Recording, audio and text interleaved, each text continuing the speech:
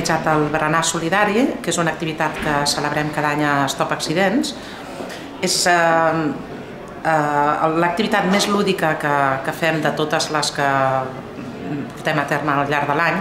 És un dia de, de trobada de socis, de, de familiars, de, d'amics i de la gent que s'hi vulgui apuntar, que estem oberts a tothom, i en un dia que ens agrada doncs, eh, donar-nos sempre a conèixer i explicar el per què estem aquí, eh, que el per què estem aquí és eh, per lluitar per, per la causa dels accidents, per la, per la, la causa que s'emporta tantes vides cada any, des de fa tants anys, eh, que és una epidèmia. A l'associació ens proposem eh, fer prevenció, fer conscienciació i, reivindicació.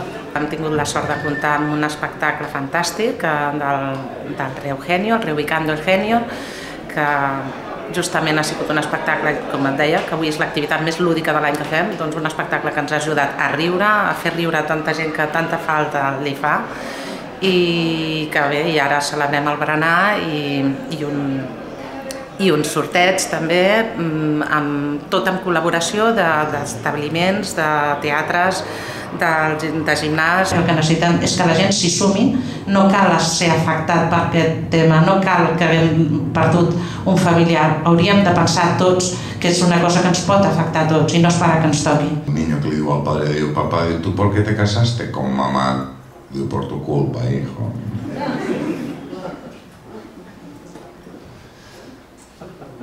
Pero no hay otro más cruel que todos estos. Este ya es cruel de ida y vuelta, ya verán. Digo, papá, digo, ¿verdad que yo soy adoptado? Digo, sí, te habíamos elegido a ti, ¿no?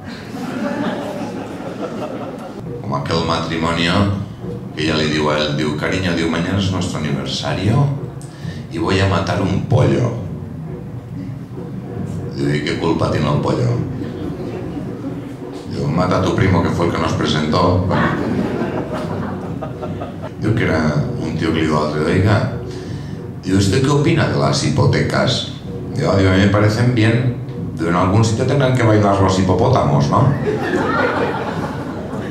Que el tío que va a buscar trabajo en una empresa, en esto que lo encargado al veu y digo, mire, digo, ahora entrará ganando mil euros y más adelante le subiremos a dos mil. Digo, vale, digo, pues ya vendré más adelante. Digo, mamá, que es un trío. Digo, la mare de Déu. Digo, mira, fill, de un trío es cuando tres adultos deciden acostarse juntos. Digo, hay diferentes posibilidades. Digo, pueden ser dos hombres y una mujer, dos mujeres y un hombre, tres mujeres e incluso tres hombres.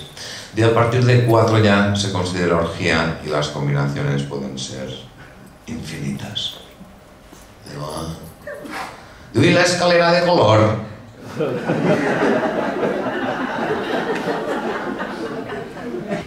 Y aquel tío que llega a una tienda de deportes, desnudo de tobillos para arriba, llevaba unas bambas, unas zapatillas deportivas. El tío empieza a dar vueltas por los distintos pasillos, el dependiente ojiplático, ¿no? Incluso en algún momento peligalínico. En esto que el tío se acerca con una raqueta de tenis a la caja registradora y digo, oiga, digo, ¿esto cuánto cuesta? Digo, 60 euros. De entonces a mí 30, ¿no? Digo, oiga, digo, ¿y esto por qué? Digo, hombre, digo, en la puerta hay un letrero que pone 50% de descuento en pelotas y zapatillas.